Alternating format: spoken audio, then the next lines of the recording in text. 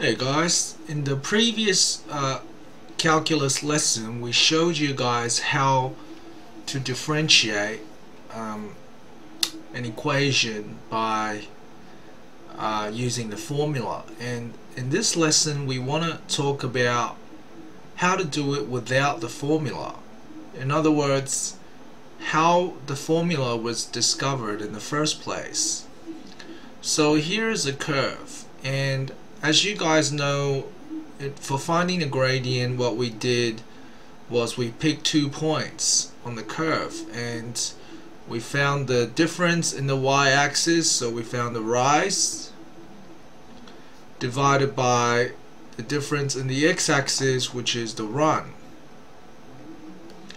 So basically the gradient is rise over run which is also the same thing as the change in the y value over the change in the x value. Okay so now let's because we're trying to um, find an algebraic algebraic uh, solution to the gradient an algebraic equation for the gradient. So uh, we can't just substitute the numbers in. What we're going to do is use symbols to represent the gradient. Now the gradient as you guys know from the past is described using the equation the gradient equals y2 minus y1 over x2 minus x1 now, that is quite simple and useful when we are just substituting the numbers from the graph into the equation. However, um, there are too many variables in this formula. y2, x2, y1, x1, there are four different variables. And what we want to do is we want to express everything in this equation using one variable only and that is the x1 value. So basically we're gonna now express each of these um, variables in terms of x1 okay so let's look at how we can express x2 using x1 the first thing I'm gonna do is I'm gonna define the first point here point A as the x value here I'm gonna call that x. And then the difference from point A to point B the difference the horizontal difference from point A to point B the run I'm gonna call that length h. So the run is equal to h. And then the second point instead of calling it x2 we can call it x plus h as the second point. So therefore rewriting that gradient we can now say instead of x2 and x1 we can say x plus h minus x Okay, now let's express y2 and y1 using the x values. Now, as you can see, y1 was the same thing as uh, f of x. Alright, y is equal to f of x. So instead of writing y1, I'm going to write it as a function of x where y1 is. And then instead of writing y2 so here we have y1 for the uh, first point and y2 for the second point. Instead of writing y2 we can now write um, y2 is uh, a function of x plus h right because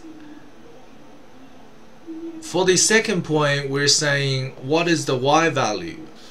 Well, the y value is uh, obtained from x2 which is x plus h so basically y2 is expressed in terms of x2 x2 is x plus h so therefore y2 is described as the function of x plus h. So simplifying this the gradient is therefore a function of x plus h minus a function of x divided by now x plus h minus x the x is actually cancel out so it's just h on the bottom.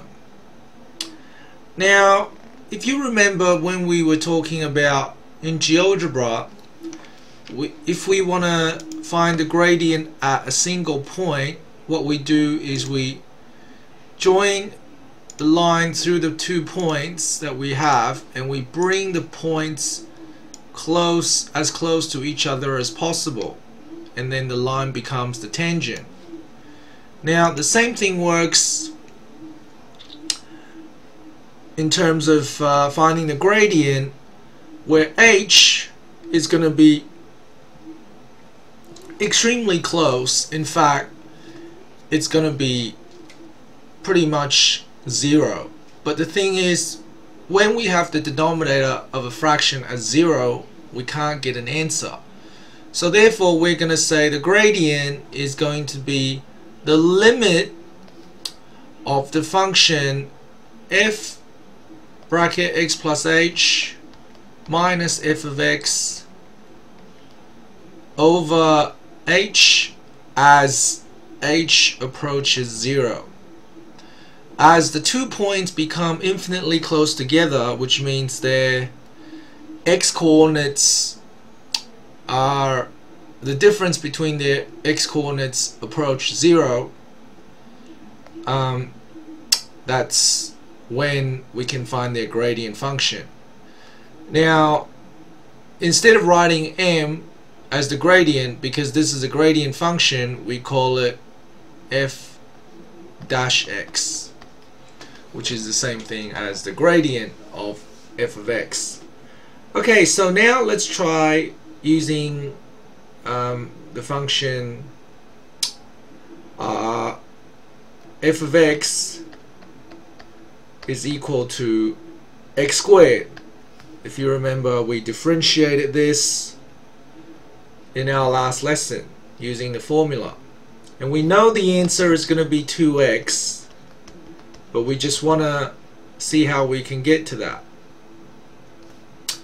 So what you do is firstly we know f of x is x squared so we're going to define the function of x plus h as x plus h squared.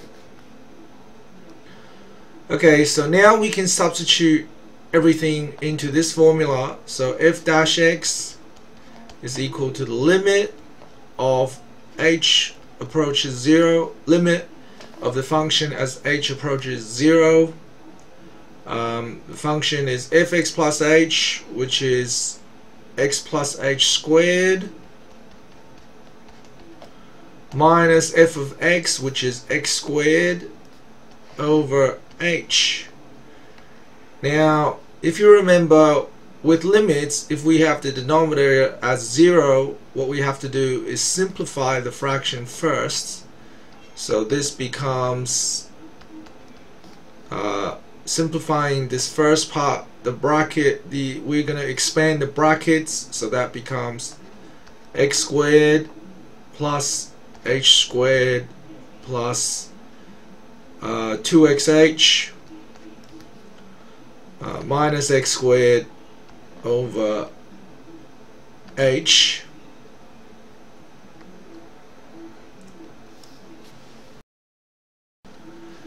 and now we're gonna get rid of the x squared minus x squared on the top so this becomes the limit of h sorry, the limit as h approaches 0, 2xh plus h squared, we're going to factorize the top. So we isolate h, sorry, bring h to the front of the bracket, h times 2x plus h over h, h divided by h cancel down to 1, so it's just the limit of h. Sorry, limit as, as h approaches 0 of 2x plus h. Now we can simply substitute 0 where h is, so the answer is just 2x. So here is how you differentiate without using the derivative, the differentiation formula. And this process is called differentiation using first principles. Okay, I hope you guys learned something today and I'll see you again next time.